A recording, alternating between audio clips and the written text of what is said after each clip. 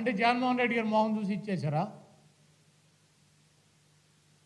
ఈ రాష్ట్రంలో ఉన్నటువంటి వనరులు కానీ ఈ రాష్ట్రంలో చేయాల్సినటువంటి అభివృద్ధి కార్యక్రమాలకు కానీ ఈ రాష్ట్రంలో జరుగుతున్నటువంటి అనేక సంక్షేమ కార్యక్రమాలకు కానీ బ్యాంకులు ఈ రాష్ట్రంలో ఉన్నటువంటి పరిస్థితుల్ని మనకు అప్పిస్తే వీడు ఎట్టా రిటర్న్ కడతాడు? ఇవన్నీ కూడా చూసుకుంటాయి బ్యాంకులు. ఊరినే జగన్మోహన్ రెడ్డి గారు నేను మాకు పదివేల కోట్లు పంపించు లక్ష కోట్లు పంపించు అంటే ఎవడు పంపిస్తాడు?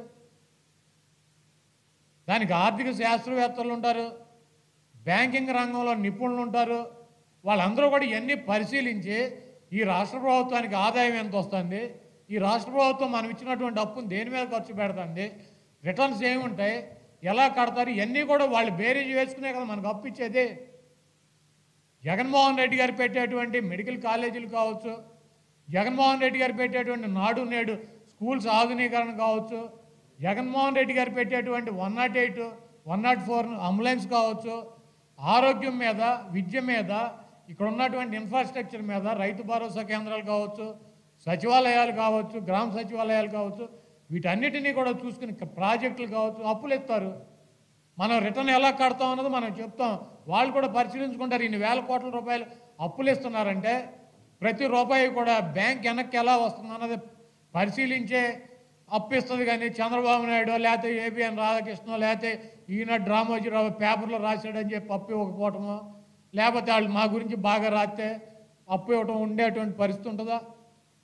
కాబట్టి జగన్మోహన్ రెడ్డి గారు ఏమి చేసినా కూడా విషం కక్కటం. జగన్మోహన్ రెడ్డి గారు చేసేటువంటి ప్రతి కార్యక్రమానికి కూడా నెగిటివ్ ప్రచారం చేయటం ఇవన్నీ కూడా వాళ్ళకి పరిపాటిగా అయింది వీళ్ళు ఎవరిని కూడా పట్టించుకునేటువంటి పరిస్థితి లేదు. జగన్మోహన్ రెడ్డి గారు రేపు ఆయన పుట్టినరోజు.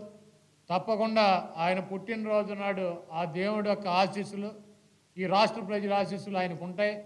ఆయన ఇంకా శక్తివంతంగా ప్రజల కోసం ఇంకా నూరేళ్ళు ఆయన జీవించి ఇంకా మంచి కార్యక్రమాలు అనేకం చేసేటువంటి పరిస్థితి ఉంటుంది. తప్పకుండా దేవుడు దేవుడి ఆశీస్సులు ప్రజల ఆశీస్సులు కూడా ఆయనకు ఉంటాయి.